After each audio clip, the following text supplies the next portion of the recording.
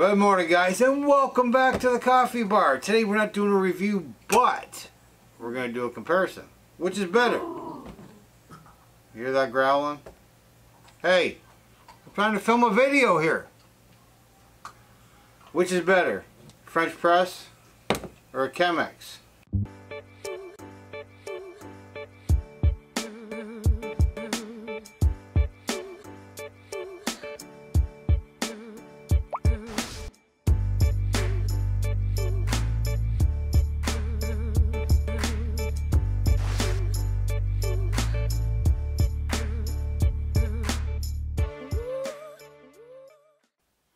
Today, we're going to figure out which is better, the French press or the Chemex, or maybe just a good old-fashioned Keurig. The coffee we are going to use is coffee that I have reviewed before. This is the Origin 1668 coffee from Ethiopia. That never gets old. We're going to put that coffee in the Chemex. We're going to put this coffee in the French press. We're going to see which one tastes better. Now, if you're a lot like me, you don't have a lot of time to sit around and wait for the French press to be done or the Chemex to be done. Uh, putting it on scales, letting it sit on a timer for so long. Sometimes you just got to throw it in the Keurig and run. So let's get started. First we take the plunger out. Obviously we have a clean... I, I'm filming. Alright? You, you mind just take a break over there somewhere? Diesel. That's not for you. Now he's going to chew on the leg of my tripod. Apologize for the vibration, but he doesn't seem to care. We're going to take our filter, put it in our Chemex. Our French press is ready to go. Now again, I, I probably should measure the coffee. I probably should weigh the coffee but I don't. And maybe that's why I'm not getting the best cup of coffee I could possibly get. But if I'm in a hurry, I don't have time for a French press anyways. So put the coffee in there. That's a little bit much.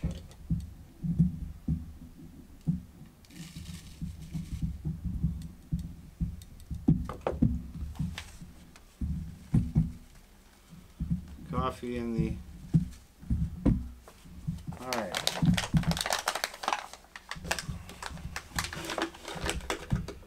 Now a lot of people will measure and weigh their coffee. I have enough coffee grounds in the bottom to fill up to this band right here. That's the way I've done it in the past.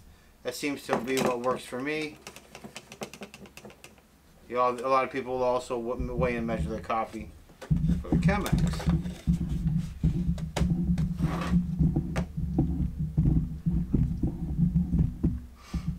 Calling an audible. I am going to also make a Keurig coffee.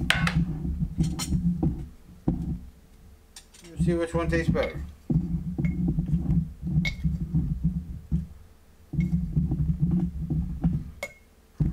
Hey, don't chew on the camera equipment. Thank you.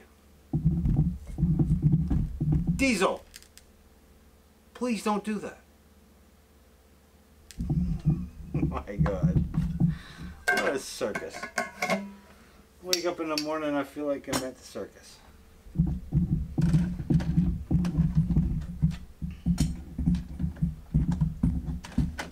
Now here's what we're going to do. We are now not only going to compare the Chemex with the French press, just decide to throw in the Keurig.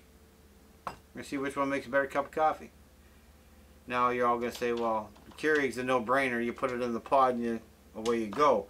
True. These here take some, depending on who you are and what you like, some fine measurements and fine weights in order to get to what you need and some fine time to let it sit. I'm not knocking it. It just seems like a lot of work to me. Let's see what we're going to do here. Alright.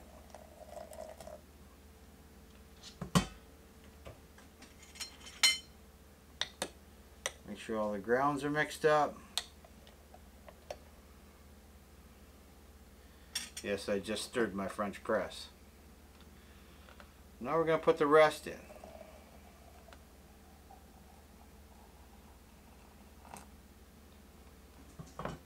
Just going to let this sit for a minute while I tend to the Chemex.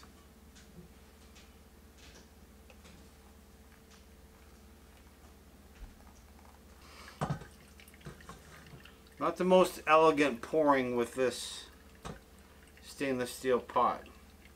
Now the professional baristas, they you know they'll tell you don't pour the water on the paper, then you'll get a paper taste with your coffee. I've never once noticed a paper taste with my coffee. Maybe that's just me. Now normally what you're doing is, normally what you would do with a Chemex is this is sitting on a scale. As you pour your water in per weight of grounds that you have, you pour until it gets to a certain weight, then you stop. Then you let it sit.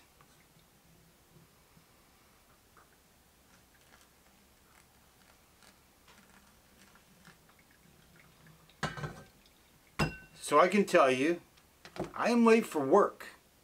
Oh, speaking of late for work.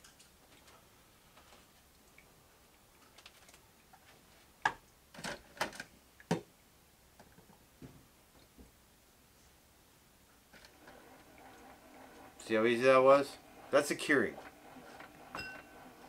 Fill the pod, push the button, wait probably just a few seconds, you have your coffee. Here, I'm late for work. I'm not knocking it, folks. I'm not knocking it. This is probably going to be, well, I've had it before, so it is really good coffee. If you have the time to wait. So, let's put the plunger in. And you should have a nice steady push with a little bit of tension.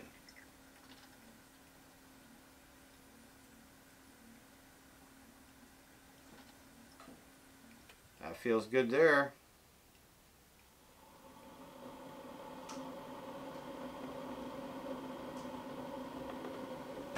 That one felt good. Alright, so now we got the French press is done. The Chemex is done. The Keurig is done. Obviously the Keurig was by far the fastest, but is it the best cup of coffee? First up, the French press.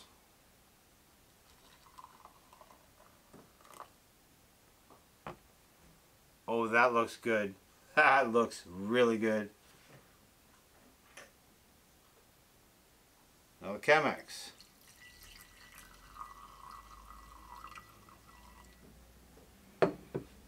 All right, so here we have it. This is our this is obviously our French press, our Chemex, and our Keurig.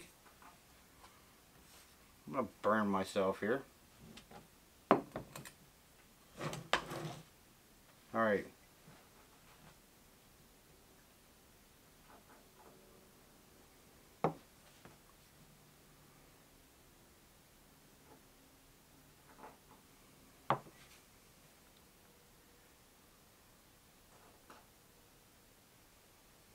Alright.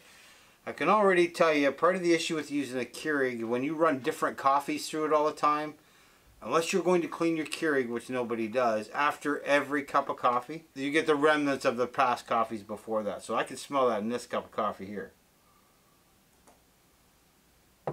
But the Chemex coffee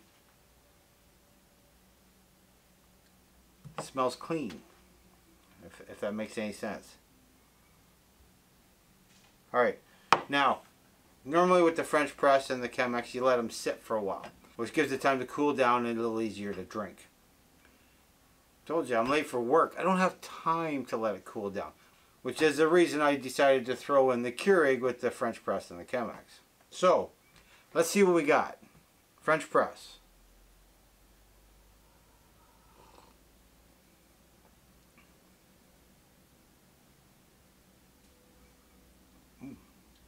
Strong, a little bitter. I kind of like that. Now the Chemex.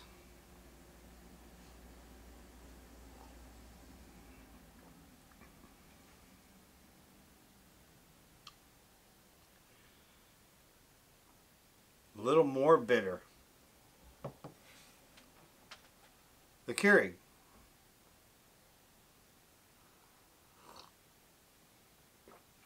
Sorry for the slurping.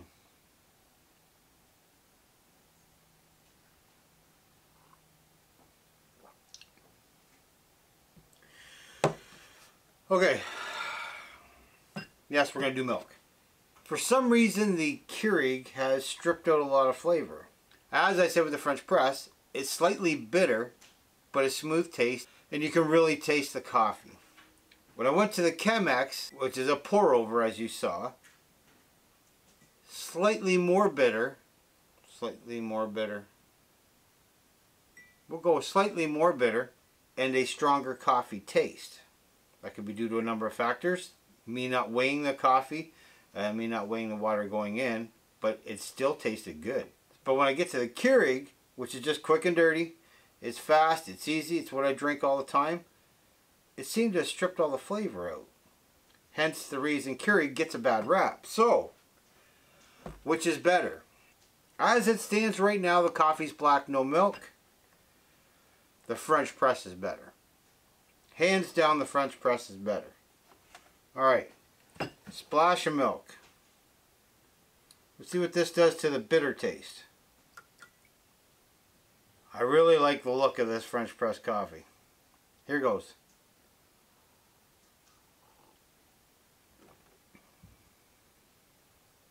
Wow. Okay, so when I added the milk, it just it just took the edge off of the bitterness, but left the strong coffee taste. That is that's one good cup of coffee. All right, now the Chemex or pour over.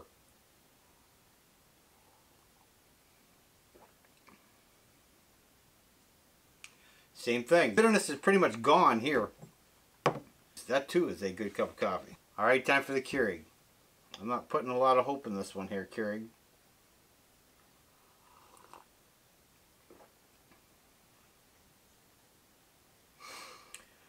Alright. Here's the end result. So here we go. The coffee method that came in first for me was the French press. Hands down, French press. There is not even a close second, although we do have a second. So the coffee method that came in second was the Chemex. For the amount of time you have to wait for a Chemex to get done and the amount of work that goes into a Chemex, uh, I'm not sure about you guys, but there's not too many of us that have enough time in the day to sit and wait for that. Anyways, number three. Yeah, well, if there was a 10, it would have been 10, but this is a number three. The Keurig. I'm not sure what the Keurig does, but it strips a lot of flavor out of this coffee. Um, I like the, the bitterness. Now, what I liked about the, the most about the French press was it left a fair bit of bitterness. It just took the edge off with a little bit of milk. Black, fantastic. It doesn't take a lot of time. Just throw some grounds in your press, pour the hot water in, press it, do a couple things, and then pour your cup of coffee. Not a problem.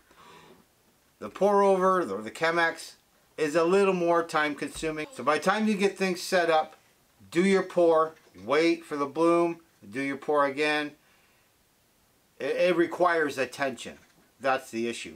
This doesn't require attention, neither does the Keurig. I'm rambling on here, but for quick and dirty, it's a Keurig. Any other time, it's a French press. Alright guys, so there you have it. My three favorite ways to make coffee. Not really. Um, the favorite way to make coffee is with a Keurig. Even at the end of all this. Why? Because it's quick and dirty. Anyway, that is it. French press number one. Chemex number two. And Diesel's parking in the background. Keurig's number three. So let me know in the comments down below what you like best. Whether it is a French press, a pour over, or a Keurig. Or you like instant coffee. I am not a fan of instant coffee, but doesn't mean you don't have to be. Uh, make your own comparison at home or leave me a comment down below what is your favorite way to make coffee. Gotta love the new puppy. He'll be coming on the video soon. Alright guys, that's all I got for today's video. I hope you enjoyed that. I hope you got something out of that. The best coffee, as far as I am concerned, for what suits me, is a French press. Quick and dirty out the door, it's a Keurig, and I'm sure it's a Keurig for a lot of people. Anyways, if you have not already done so, please hit that subscribe button, like button, share button, and for God's sake, ring the bell. That way you get notified each time I upload a video. And remember, the best way to drink coffee is the way you like to drink it. Later.